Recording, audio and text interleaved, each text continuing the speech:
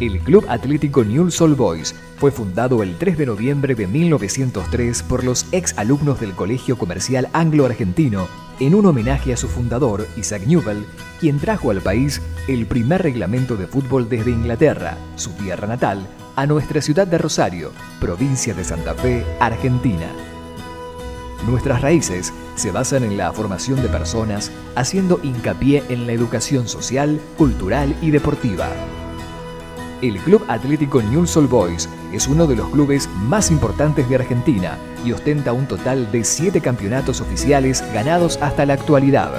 Torneo Final 2013, Torneo Apertura 2004, Torneo Clausura 1992, Campeonato de Primera División 1990-91, Torneo Apertura 1990, Campeonato de Primera División 1987-88 y Torneo Metropolitano 1974. A lo largo de su historia, News ha formado jugadores y entrenadores destacados internacionalmente como Julio Libonati, Jorge Grifa, Jorge Valdano, Abel Balbo, Gabriel Batistuta, Roberto Sensini, Marcelo Bielsa, Eduardo Berizo, Norberto Scoponi, Gerardo Tata Martino, Fernando Gamboa, Maximiliano Rodríguez, Gabriel Heinze, Ezequiel Garay, Lucas Bernardi, Lionel Scaloni, entre tantos otros. Además, el mejor jugador del mundo, Lionel Messi, es fruto de la cantera leprosa y hasta el mismísimo Diego Maradona defendió los colores de esta institución. News hace de local en el Estadio Coloso del Parque Marcelo Alberto Bielsa, que reúne por partido a más de 40.000 vibrantes almas. Tanto el estadio como su sede social se encuentran en el Parque de la Independencia, ubicado en pleno corazón de la ciudad. La misma cuenta con dos casas para los jugadores de nuestras divisiones inferiores.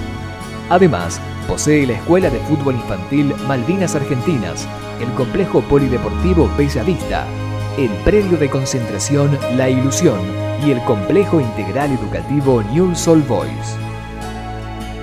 Mientras el mundo fútbol se deleita con el estilo de juego que impone, mientras medios internacionales son sorprendidos por la vuelta de grandes jugadores que crecieron en la institución.